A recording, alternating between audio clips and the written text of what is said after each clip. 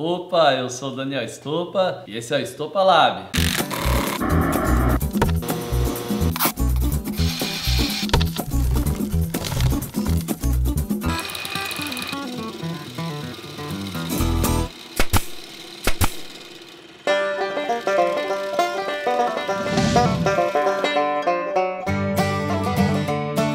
Esses dias para trás eu fiz uma tábua de corte e foi um sucesso absurdo, né? O processo dela realmente ficou muito bonita.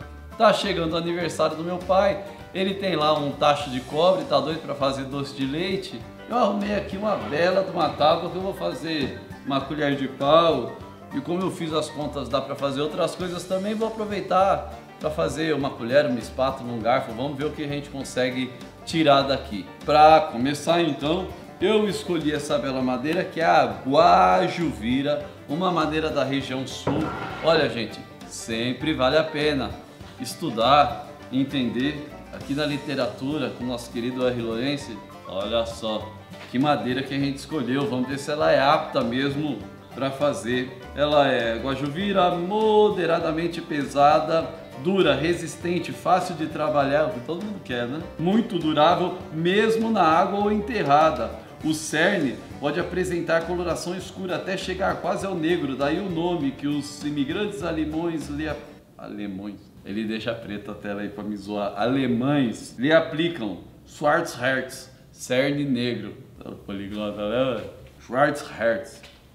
Herz. A madeira é largamente empregada em construções, Obras expostas como vigas, pontes, morões, cabos, ferramentas, remos, taco, golfe, colher de pau para o pai do Daniel. Olha, a ocorrência é no Nordeste, Nordeste do Rio Grande do Sul, até o sul de São Paulo, né? Muito bom. Eu tenho essa madeira aqui e eu vou desenhar, eu acho que vai sair daqui três utensílios, né? Tô pensando numa colher, uma espátula e um garfo dentro da madeira que eu tenho aqui, eu vou dar o melhor aproveitamento possível. Com certeza aí, se você for fazer isso aqui, você vai ter outra madeira. Aí você vai dar o melhor aproveitamento para sua madeira.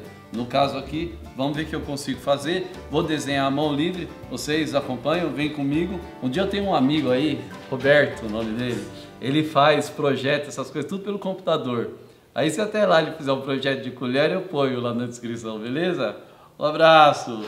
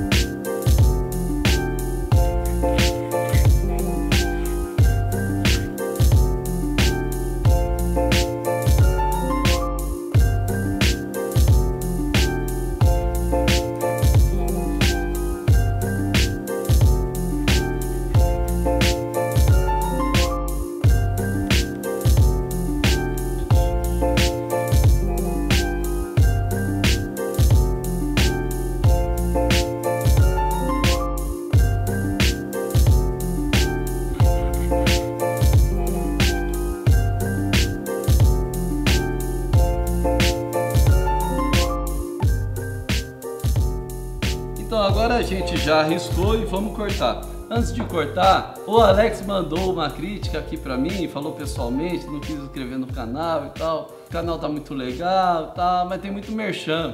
Alex, a Tight Bond é a melhor cola do Brasil para você colar sua madeira, seus materiais, para fazer tábua, artesanato, o que quer que você queira fazer com madeira, cola de bem demais. A Makita, olha, baterização as melhores ferramentas da bateria do universo. E a Radix, né? Essa marca brasileira que produz essas fresas maravilhosas. Tudo isso você encontra na M viu, Alex?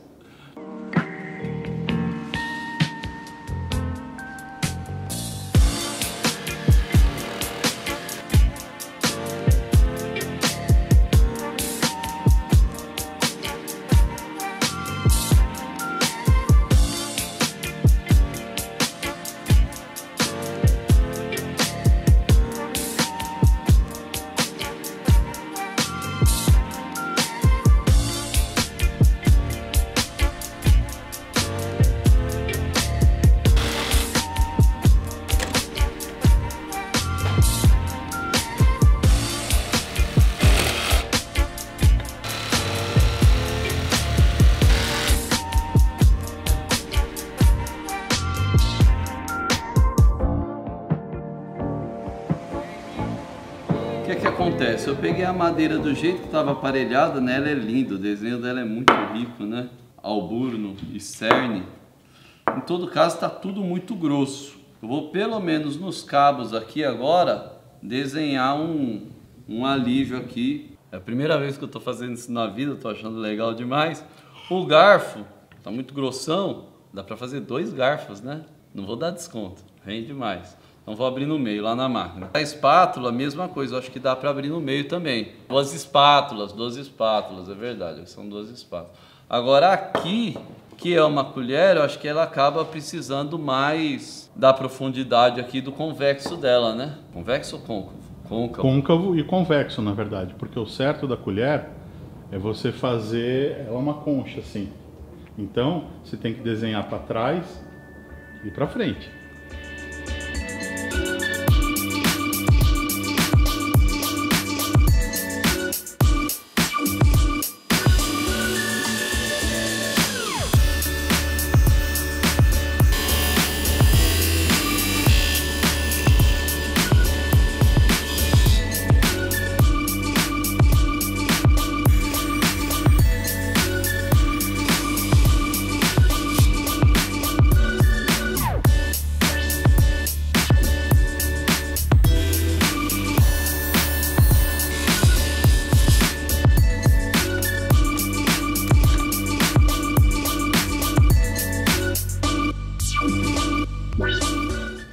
Daquele pedaço de madeira resultou aqui, ó. Duas espátulas, essa colher e os dois garfos. Acho que a primeira coisa é dar uma retificada aqui. Própria grossa, acho que vai ser mais rápido. E dar uma tupiada para arredondar. Depois tem um segredinho para vocês, daqui a pouco. Aguardem.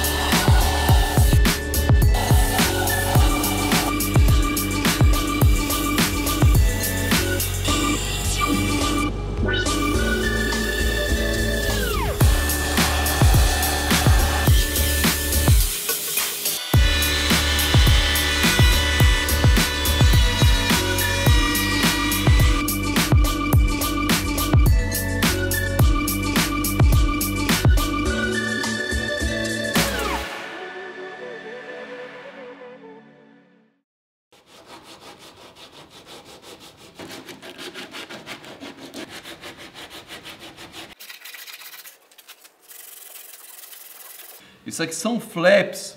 Eles vão desbastar, eles vão fazer o serviço que a Grosa faz com muito mais eficiência, mais rapidez. Eu tenho pouca intimidade, não posso dizer com certeza se com tanta precisão. Não é verdade? Esse aqui, ó, ele de fato ele come a madeira. Ele tem aqui uma uma vide, uma faca que come a madeira. Vamos testar esse aqui, que vai dar o primeiro corte. Depois a grosa vai como a gente trabalha com a lixa da mesma forma, ela vai funcionando da mais grossa para mais fina. Olha que maravilha! Vamos testar uma por uma e vamos ver o que, que essas belezinhas são capazes de fazer.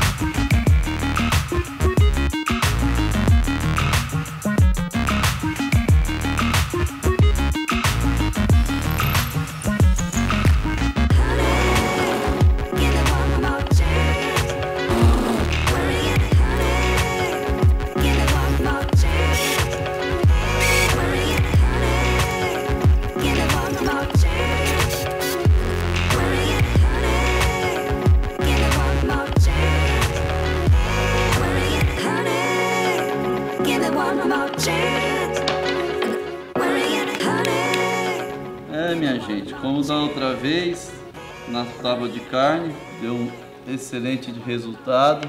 usando de novo creme para tábuas de corte. É muito chique, né? Aliás, quem quer ver a tábua tá lá no outro vídeo.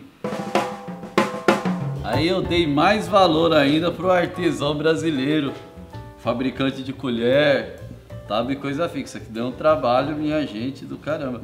A madeira, né, cara? Essa madeira é maravilhosa. Ô, Rio Grande do Sul, Santa Catarina, Paraná e sul de São Paulo. Olha isso. Mas eu gostaria de agradecer todo mundo que mandou o nome da cidade. Eu pedi. Ixi, é cidade no Brasil inteiro assistindo. Dá um orgulho, sabe? Uma emoção de saber que esse Brasilzão grande tá aí.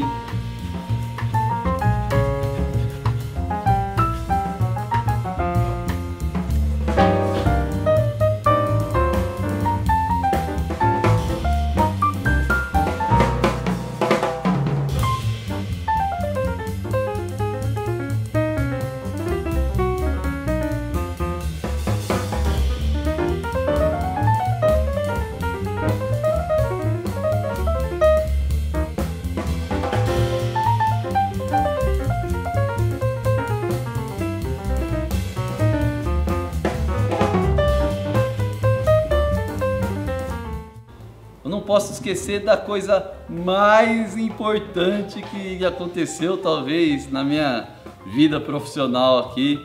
Esse ano tem a feira bienal da Formobile, né? Ela não é todo ano, é ano sim, ano não. O que dá a ela uma importância maior ainda, né? Não é todo ano que acontece, a gente tem que aproveitar. A feira Formobile vai acontecer esse ano e a gente vai ter um stand lá só para os youtubers se apresentarem e mostrarem seus projetos. Então, eh, não sou só eu, serão outros youtubers. Não perca a Formobile. Eu tô super ansioso para chegar a Formobile.